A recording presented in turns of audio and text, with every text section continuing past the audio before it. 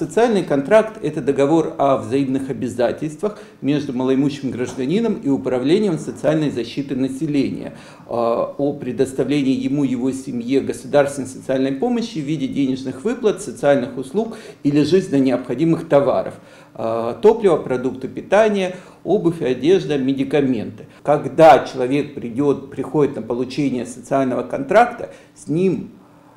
вначале проводят тщательную беседу специалисты, выходят на дом, определяют потребности семьи, выезжают, э, да, то есть заключают договор, в котором написано, что, например, э, такие-то члены семьи должны в течение полугода найти работу или развить крестьянское хозяйство, там фермерское, подсобное какое-то. Вот. Ну, для города это уже не так актуально, но, в принципе, приусадебные хозяйства тоже какие-то есть. К тому же адресная социальная помощь, как я уже говорил, единоразовая, а социальный контракт этой суммы побольше выплачивается в течение полугода. Но выплачиваются они не просто так, а человек должен реализовать какую-то какую-то программу своей социальной реабилитации, которая будет предварительно, то есть именно заключена в форме контракта, что управление социальной защиты обязуется оплатить такую-то сумму в течение раз в месяц, в течение полугода, а гражданин, в свою очередь, обещает